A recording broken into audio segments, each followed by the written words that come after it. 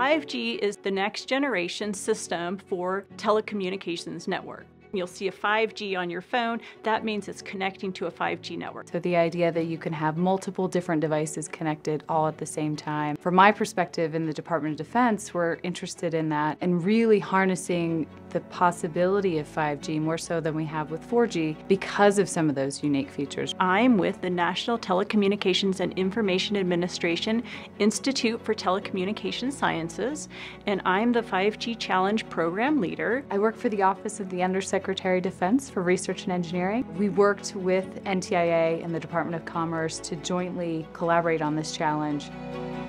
The 5G Challenge is a two year prize competition where we are helping to accelerate the adoption of open interfaces, interoperable subsystems, and multi vendor solutions. Why is the ITS, NTIA, the Department of Commerce involved in the 5G Challenge? To spur competition, drive down costs, increase supplier diversity, and enable new entrants to take advantage of the expanding 5G marketplace. Now you've got large mobile operators that are providing really systems that are prepackaged that come in one standalone stack. There's proprietary software that ties those components together and if something breaks you have to go back to that vendor.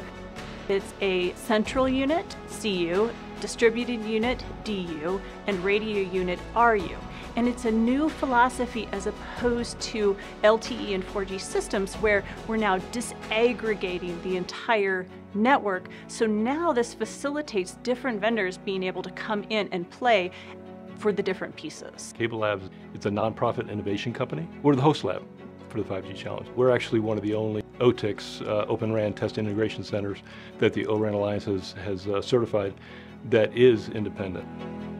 Open Radio Access Network, what we're interested in is open architecture and how we can have those interoperable components that truly are plug and play. One of the biggest challenge for 5G is, is complexity, right? And if you add the Open RAN on top of 5G, it's like complexity upon complexity, right? Because you put in multiple vendors that needs to talk to each other. You have much more interfaces that needs to be standardized. So testing is paramount. The Viavi Solutions, we're a leading test and measurement company. We are the test equipment provider and partner for CableLabs Kyrio to support the, the 5G challenge. The environment that we created was really one of the first of its kind. It allows vendors to bring their software and directly import it onto our hardware. We're trying to disaggregate hardware and software. That's the whole point of all this.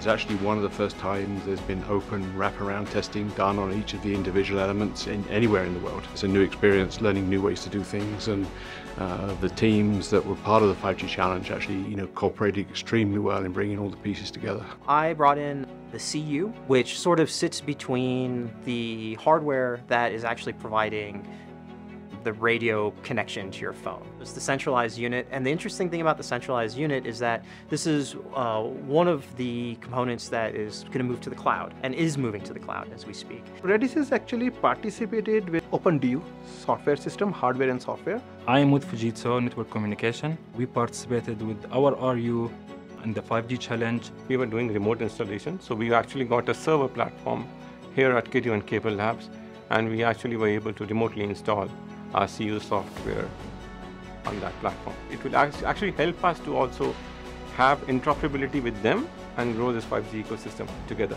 It was a really game changer for the complete ORAN ecosystem and industry.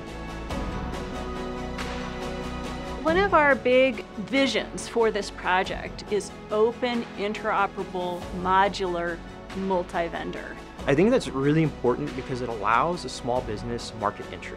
These open standards and open implementations support a small company being able to bring their implementation and have it work in the ecosystem because it brings down the barrier. For the mobile operators, they can lower costs, they increase supplier diversity. That means more robust supply chains, right, which we're seeing right now. is a challenge, but ultimately then that savings will pass on to consumers. You know, better service, lower costs. We're truly moving towards plug and play that makes it much easier for speed, to integrate a different component more quickly, to drive down costs. The promise of what it will provide to the department, to the country, is really valuable, and I'm very excited about it.